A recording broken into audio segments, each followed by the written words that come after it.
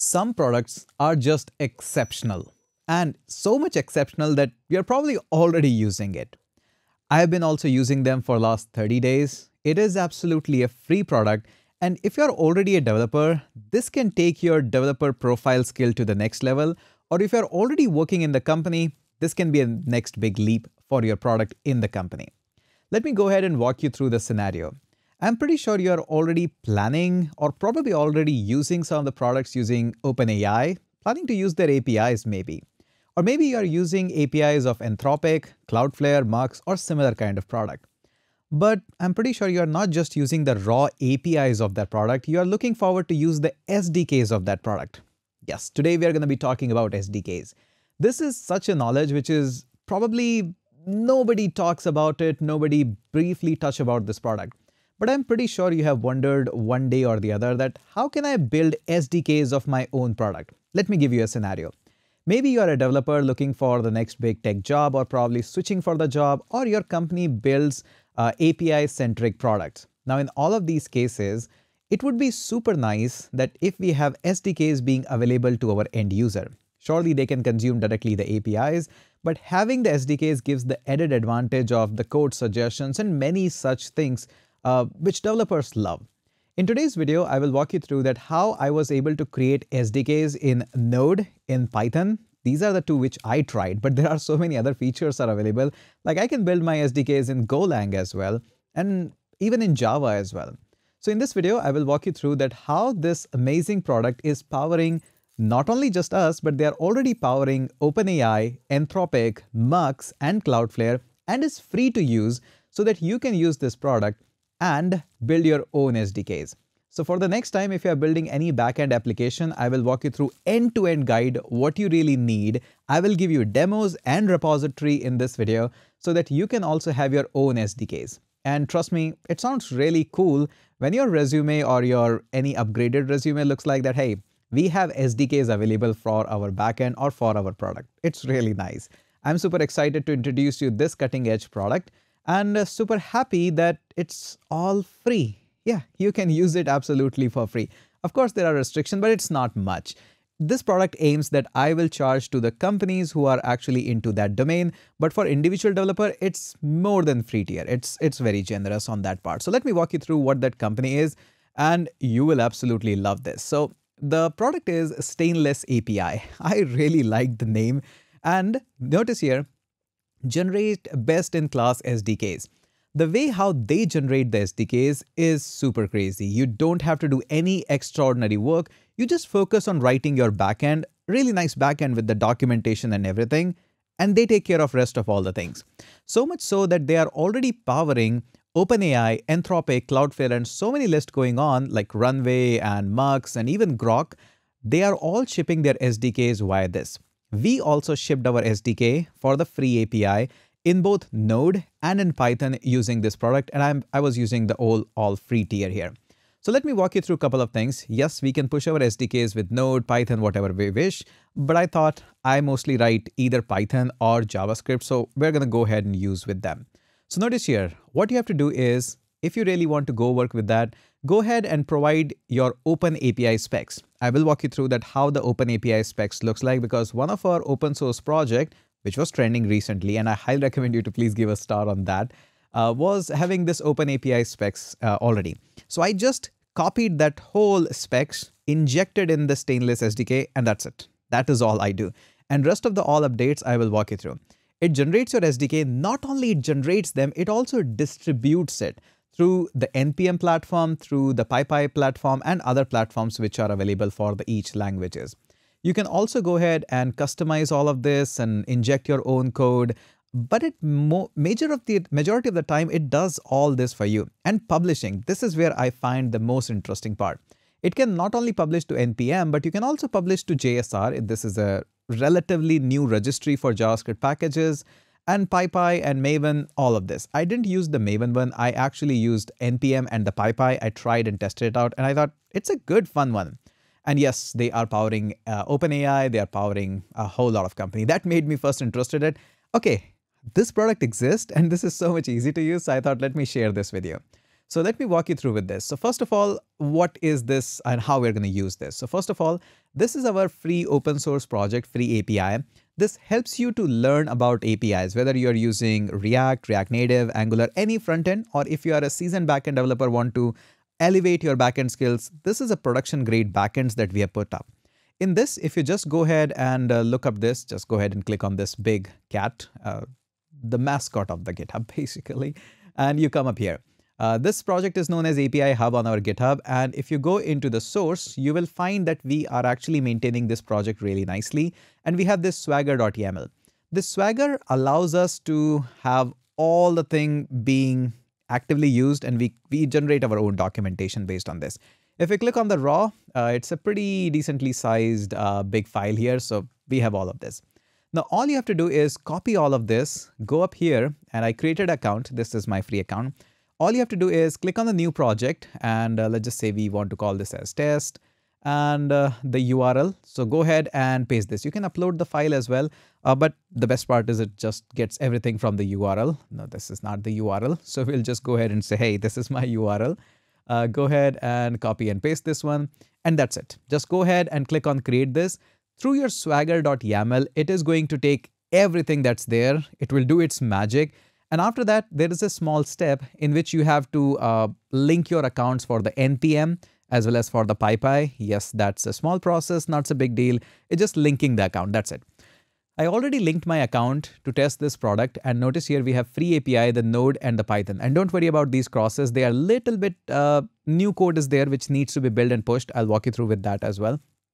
But if I go ahead and click on this uh, project here, free API app, in a few seconds this is going to load. Uh, probably my internet is bad. Come on load this faster. There we go. Now it's here.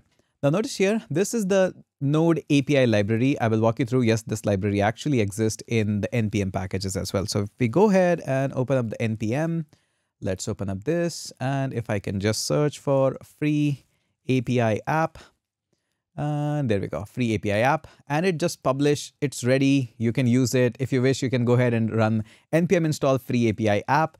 And this is how it works. Now it allows all of the user to write code like this. Import free API from the free API and all of the data, methods, authentication, everything that we support is available here. We can just go ahead and create a client from the free API app. I didn't wrote this code. I didn't wrote this functionality. This is available out of the box to me in this SDK. And now I can go ahead and create functions, async functions, of course. And now this client can actually talk to any of the methods or the things that we have gone. So for example, we have authentications in which we support a lot of things. It just calls the register. Provide the data which is required as a parameter and that's it. It will just go ahead and register the user. You can go ahead and try up here, look at the interactive docs. We actually do the exact same thing. So if I go ahead and check out our authentication section. Notice here we do have a register user. Uh, you can go ahead and use API to call this route. Surely you can go ahead and do that. We have interactive docs which does all of this. But this is much cool that user can now use directly my product, my backend uh, with the SDKs. This is always an added advantage. And especially when you're building products like uh, payment gateway integration, uh, something like Stripe, Razorpay, having the SDK gives much more reliability to your end user. So I just added this and notice here it is published and all and I didn't publish it. It was all published through the Stainless API.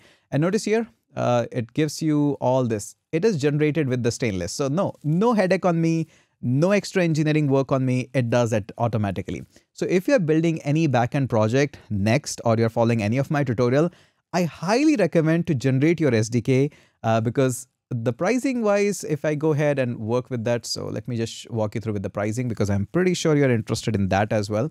I'll just open this up in incognito and pricing. So the pricing, this is more than enough to showcase uh, your project. There is one live, live SDK available. So I'm pretty sure you are not building any open source project just like me. You're probably building to showcase it in the Node ecosystem or in the Python ecosystem. Go ahead and have your own SDK. 50 endpoints is already generous enough and I think it's going to be decent project that you're building up. If you have more projects, then obviously they are more focused on the startup and business. For individual developers, no credit card required, nothing. So I actually used this one. And I went into this and I said, hey, in the trial, they actually allows you to do uh, more fun stuff. So I just work with that. I pasted my OpenAPI uh, specs here, connected my uh, repositories or npm repositories for the node and the python as well. And it does everything for me. I don't have to do anything in that. Notice here in the free api and everything it generates. Now i will also walk you through that how it looks like. Uh, there are a couple of options how you can do it. I created fresh new repositories for them. So this whole thing notice here all are available. Yeah this whole thing. Uh, yes it does took a little bit of the time to work with that. Now let me walk you through with this so this one is the Python SDK, which we published, and this is uh, the Node SDK that we published. And here's the all code. I didn't wrote a single line of it. Uh, Stainless API did all of the work, even managing the documentation and the README file and timeouts, average user, everything, did nothing. Now, interestingly, what you're going to notice, there are a couple of pull requests. As your package gets update or your OpenSpecs uh, API gets update, it actually creates more of this one. So notice here, this is a release. Automatic release are also being managed. So anything new code generation is being done. They actually use AI heavily, of course. They will. They actually are in touch with OpenAI and Anthropic, two of the best leagues. And notice here, all of this work is done. Uh, some checks were not successful, some were successful. But you can go ahead and uh, you can go ahead and create a merge pull request. I'll just go ahead and merge this one. And yes, please confirm the merge. Uh, nope, don't want to save anything. And there we go. We have merged this one, so should be all looking good. I don't even have to check much of, like obviously do check, but it's not much of a big deal. And all of my APIs and SDKs are updated. If any changes are being made in my backend, I can just update my spec file and that's it. It just brings everything up here. Now let's go ahead and work with that. So work on the node part. And there we go. All good. Looks good. Now, interestingly, you can just click on guess with AI. You can automate that. A lot of things are done. What I'm super happy about is it, takes everything from here and works with that. So uh, save and build SDK. This is the only button I have to click. There is no local storage change as of now, but I can just click on this. And through this, I can publish everywhere on every platform that is there. Now let me show you a couple of more interesting stuffs here. So I can just click on this plus button and notice here, we can publish Go SDKs. Java is still request access, Kotlin request access. Currently that I'm using is Node and Python and eventually I'll probably drop either one of them because I want to use the free tier. So I'll probably go with Node and will create more tutorials to use that. Notice here, Ruby, Terraform, C Sharp. I'll probably never use C Sharp. I rarely use it. But anyways, I'll mostly stay in this ecosystem or ecozone and that's it. And now if I want to add my additional code, I can just go ahead and add this code. There's diagnostic, builds.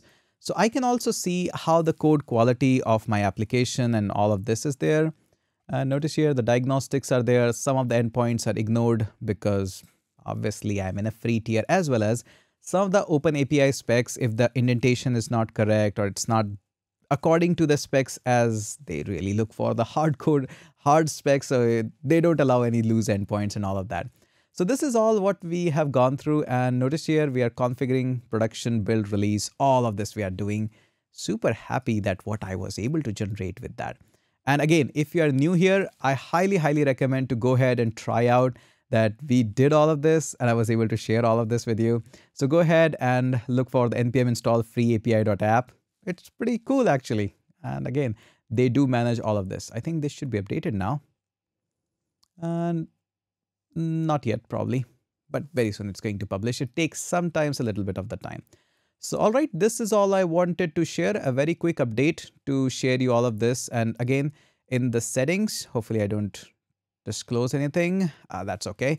Uh, you have to link up your NPM repository and all of that. So all right. So a couple of advice I can give you or some of the ideas that I can give you. See, building SDKs is something that is usually not there in any resume. And if you have even tiny bit idea of how these SDKs are being built, you can just always go ahead and look into the code repository as well. This will 100% give you additional advantage. If you're building any kind of backend in Node or any such similar thing, try to write your Swagger files. The Swagger files should be according to the Open API specs this will give you additional advantage that you are not just somebody who writes the code. You are somebody who understands the code as well as understands the importance of writing a good solid documentation for other developers. And once you're doing this much of hard effort, why not to just go ahead and use some of the tools which are available online and have some extra stars in your resume. One such star is SDK.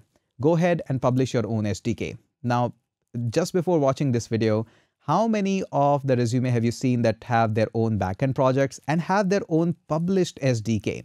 This gives an added star. And again, if you're working on or planning to work in some companies which are like payment gateway integration or some level of OpenAI or any kind of API first product, which are a lot of there are out there like video SDK and whatnot. Uh, so many of the companies are there in India right now as well. And when you tell them that, hey, I have published my own SDK, definitely uh, you will get an advantage. And then of course, it's not just publishing the SDK. Go ahead and read the repository. The whole code is available to you, what that code is doing as well as some of the interesting tools like Stainless uh, AI. So go ahead and check out this Stainless API and I will be putting up the link in the description for all the free APIs, Stainless uh, API as well. Uh, their blogs is also nice. Go ahead and check out their docs as well. Uh, this is what I really love about this. Let me show you that. So they give you the whole idea that, okay, go ahead and put up the stainless config or the OpenAPI specs and using the stainless, you can just go ahead and keep on publishing it. For a really big corporate, this is an advantage. You don't have to worry about anything. And what I really like about this is this thing. I can generate the SDK, put it into a separate repository, and this published to NPA. Separate repository, this published to the Python package. Notice here, this is exactly what we are doing. A separate free API Python SDK. A separate free API Node SDK. This is what they recommend. I've checked out their docs and this is how they work with that. Again, just a quick video can do this. These are products which are usually hidden, but again, not anymore. I'm here to show you all of that. So this is my recommendation. I hope you have enjoyed this video.